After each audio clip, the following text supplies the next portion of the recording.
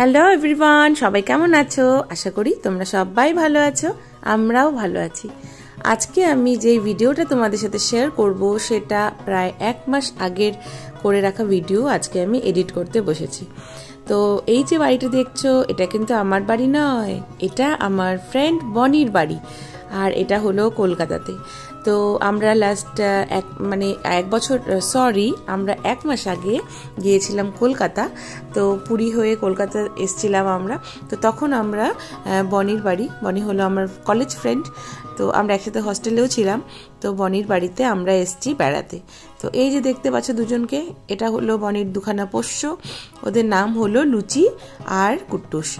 তো বনির বাড়িটা এত সুন্দর করে সাজানো যে তোমাদের সাথে আমি সেটা শেয়ার না করে পারছিলামই না।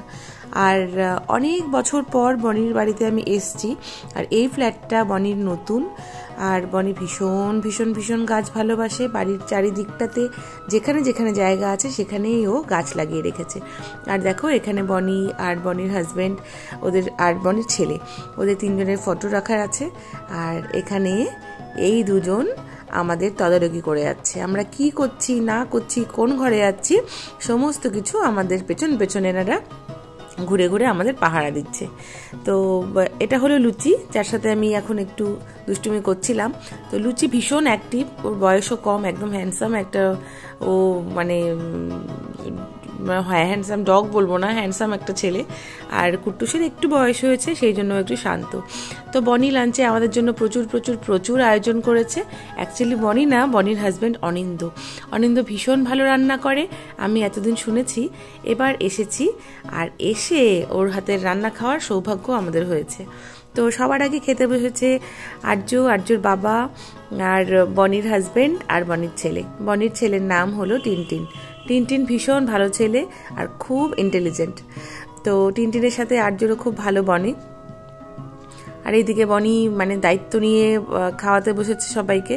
আমাকে বলল, তুই পরে খাস, তুই আর আমি একসাথে খেতে বসবো। তো দেখো, এখানে বনির হাজব্যান্ড আর বনির ছেলে খাচ্ছে, এখানে সোনা আর আর্য খাচ্ছে। তো অনিন্দ অনেক কিছু রান্না করেছে আজকে। মানে আমরা জাস্ট অবাক, একটা মেয়ে মানুষও এত সুন্দর করে গুছিয়ে পরিপাটি করে মানে সব কিছু রেডি করতে পারে না। আজকে লাঞ্চের মেনুতে কি কি ছিল তোমরা শুনবে? আজকের লাঞ্চের মেনুতে ছিল, চলো বাড়িটা দেখাতে দেখাতে আমি গল্প করি। আজকের লাঞ্চের মেনুতে ছিল কাশ্মীরি মুগের ডাল, পনির টানির সব দিয়ে, তারপর ছিল বেগুন ভাজা, স্যালাড, তারপর ছিল পমফ্রেট ফ্রাই তারপর গলদা চিংড়ির মালাইকারি, আর ছিল চিকেন চাটনি। বাপ রে বাপ! একদম মনে হচ্ছে একটা বিয়ে বাড়ির খাবার। সোনা ভীষণ খুশি হয়েছে ওদের আপ্যায়ন দেখে। সোনা বলছে, আমরা তো ওদের সাথে এরম কিছুই করি না গো। যখন ওরা আমাদের বাড়িতে যায়। তো অনিন্দ আমাদের বাড়িতে কখনো আসেনি, বনি এসছিল। তো বনি একদম আমার ঘরের লোক। বনি আমার বোনের মতো, আমার ফ্রেন্ড যদিও, কিন্তু ওকে আমি একদম বোনের মতনই দেখি।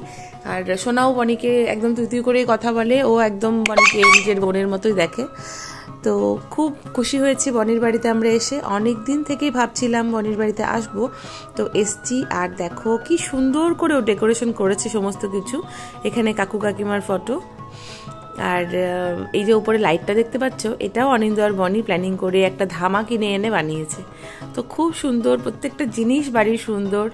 দেখো, খুব ভালো খুব ভালো লাগছে।